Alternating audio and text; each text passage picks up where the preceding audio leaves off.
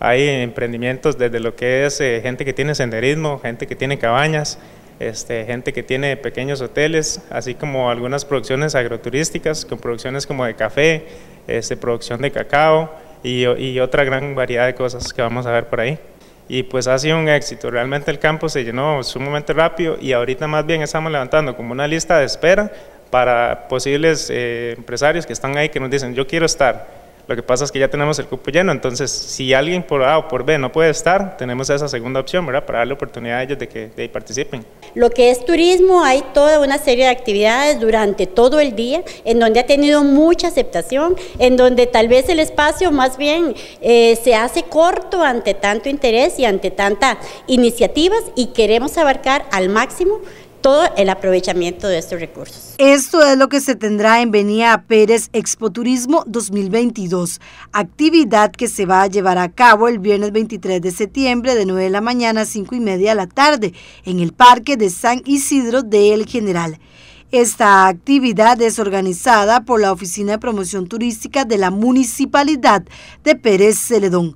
Participarán 40 emprendimientos de diferente tipo de todo el cantón. La feria tiene varios objetivos. Eh, en primer lugar, queremos o estamos trabajando fuertemente en hacer una unidad o una solidaridad entre los empresarios turísticos, que es algo que, tratamos de instaurar en Pérez de León, que ellos, en primer lugar, que los 42 negocios que hay confirmados, entre ellos se conozcan, se compartan contactos, hagan, puedan hacer alianzas estratégicas, porque por ejemplo, puede haber uno que tiene cabañas y senderismo, hay uno que lo que ofrece servicio de alimentación, eh, hay otros que lo que tienen es artesanías para ofrecerle a los turistas que van allá, eh, otros que tienen café, entonces queremos hacer esa alianza entre ellos.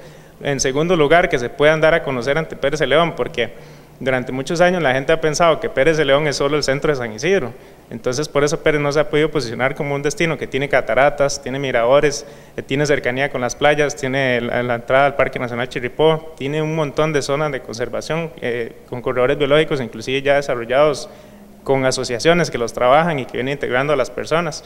Entonces lo que tratamos es eso, eh, posicionar Pérez de León ante el cantón primeramente y luego con el resto del país y, y, y por qué no comenzar a traer turismo inclusive extranjero, ¿verdad? Comienzan a las 9 de la mañana con la inauguración de la actividad.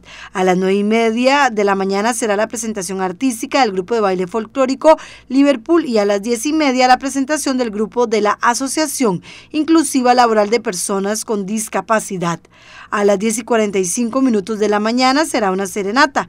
A las 11 de la mañana el taller denominado A Divertirse Sembrando. Y a las 11 y media de la mañana música en vivo con el grupo Trébol. Ya en la tarde, a la una, se presentará el Teatro La Galera con la obra La historia de un ser humano. A las dos les corresponde presentarse a un cuarteto y a las tres de la tarde el grupo de cuerdas de la Universidad Nacional. A las tres y media de la tarde se presentará el grupo de baile Herencias también de la Universidad Nacional y a las cuatro habrá premios y rifas. Cabe indicar que durante todo el día también habrá pintacaritas y globos. Tenemos toda una agenda cultural y actuaciones en donde, por ejemplo, tenemos una actividad lindísima para los niños que es en el stand de Ecogranja. Ahí traemos 30 eh, niños de diferentes comunidades se les va a dar un taller sobre cómo utilizar el abono orgánico, la importancia de, reducir al máximo los pesticidas.